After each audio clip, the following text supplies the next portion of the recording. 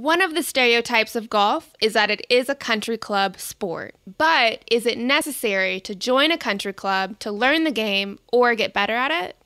Golf is not that hard. Well, it doesn't have to be. That's why we cut through all the highbrow golf BS to give you what you really need to know to enjoy the golfing experience. I'm Doug Smith. And I'm Cheyenne Woods. And together we have over 50 years' experience playing the game of golf at every level. Every week we'll break down a new topic in 10 minutes or less, answering some of the most popular questions in golf today. You're welcome. Now, this is a polarizing topic, Cheyenne. You know, I grew up sneaking on the country club or playing country clubs when I was invited. You, on the other hand, grew up a country club member. Do you attribute some of your talent and even going to college to the fact that you had a place to play consistently? Or how do you feel about that? I think so at all, honestly. And I think that's why this is such a good topic today because most people do assume that you have to be a member at a country club to improve your game. And I did grow up at a country club local here in Phoenix, and it's great to have the access to a range and to a golf course. But at the same time, I also grew up playing public golf courses at public driving ranges and hitting balls till the day ended. And I think that just goes to show that whether it's a country club or a public golf course, there's so much accessibility now for you to be able to go and have that uh, ability to go play golf whenever you want. You know, one of the downsides that I find to, to country clubs is they close at like dusk, not even dusk. They close around like six roughly. So you, you can't get any more golf balls. You can't practice the lights are gone. There's no lights at some of these clubs. I found in my own personal experience that being able to go to a night range or hit and chip under the lights made me a better golfer. It was when I had the time to play. Night golf opens up so many possibilities of people having more access to the game. And again, it's more so at public golf courses, which in my eyes is a great way to keep things cheap, keep things accessible, and low key because the one thing that I noticed in being at country clubs, whether growing up or even today, is that sometimes they're a bit stuffy. There's a lot of rules, there's dress codes. I love going to a range where I can wear my workout clothes or jeans and just chill out and enjoy hitting some balls. Now let's break down some of these myths of public golf versus country club golf because there there is a difference. Undeniably, there's a difference between the aesthetics, the shape of some country clubs versus some public golf courses. Torrey Pines is a public golf course, and it's pristine. Bethpage Black. Bethpage Black public is golf a course. public golf course.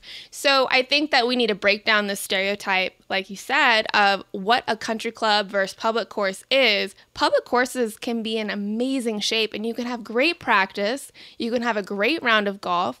Um, and I've played at some country clubs that are not up to par. So, with that being said, Doug, do you do you really think that having a membership at a country club is even necessary to improve your game? That's a really tough question. It is. And I'm going to I'm going to answer it two ways. One is I'm going to say no initially because at the end of the day, swinging a golf club as long as you have, you know, a range and the grass and the space to swing and play and practice and prepare, you can get better at the game.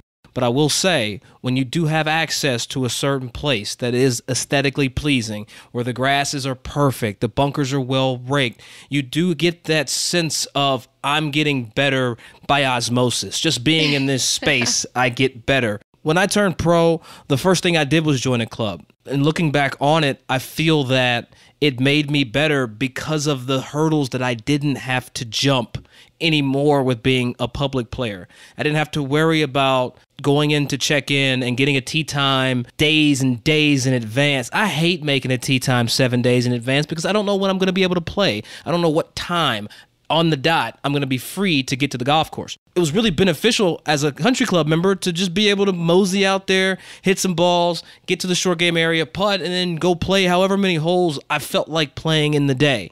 And I think that's one of the things that we have to take into consideration when, when we're considering this this topic. At a public golf course, you cannot play. Well, let me phrase it. You can play all the golf you want to, but you will have to pay above whatever the first cost of the round was. Now, at a club, hell, you can play all day if you want to. For me, it was that differentiator why I went the country club route as it relates to getting better. Hundred percent. And that was a good point you made with the accessibility or just the convenience of it being a country club. Yeah. And you have the ability to go based on your schedule. How many holes do I want to play? I don't have to worry about I paid for 18 holes. I have to play 18 holes. You can go and play six. You can go and play nine. Uh, so I really love that idea.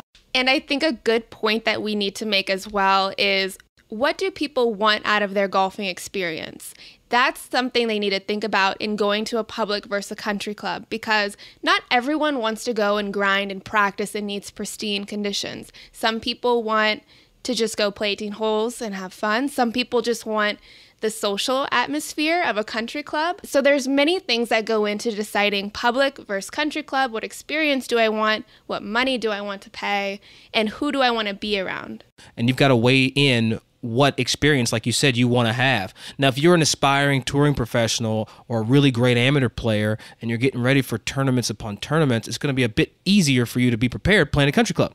But if you're a nine to five worker and you love the game and you want to be outside, then a public golf course is going to fit your budget and it's going to fit your schedule. I think a great thing about country clubs too is the family aspect because country clubs a lot of times aren't just golf. You have the tennis, you have the gym, you have the pool, you have restaurants. So people who go to country clubs also maybe have that family atmosphere that they're looking for. But when as an amateur looking again at to improve your game, what's important to you? Everyone is so different. But I really don't want to deter people because at the end of the day, at a public facility, as we've mentioned in other episodes, you can chip and putt for free. You don't need to be a member of a country club to have a great short game or to be a great ball striker. Public courses offer range memberships. Those aren't available at some country clubs, right? Or, or some public courses. See if your course has a range membership that fits your budget and your flexibility. Because if you can get to the range at five o'clock in the evening and hit balls for an hour and you want to do that three or four times a week, having that membership to that spot might be beneficial. And that's a great example for one of our listeners who asked us. His name is DT Sinclair, 27. We read your question. He wants to know how we would convince somebody that golf is